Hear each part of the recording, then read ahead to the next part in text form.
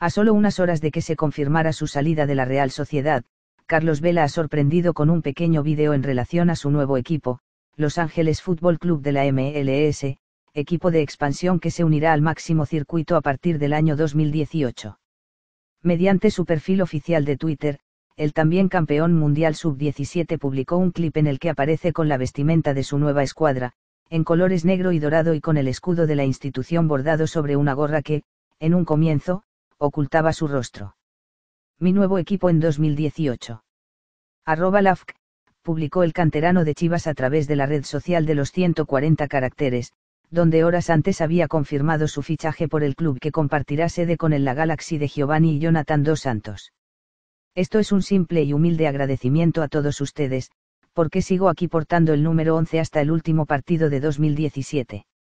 Siempre Chiri Urdin, escribió Vela en los momentos previos a la difusión del vídeo con los colores de su próximo equipo.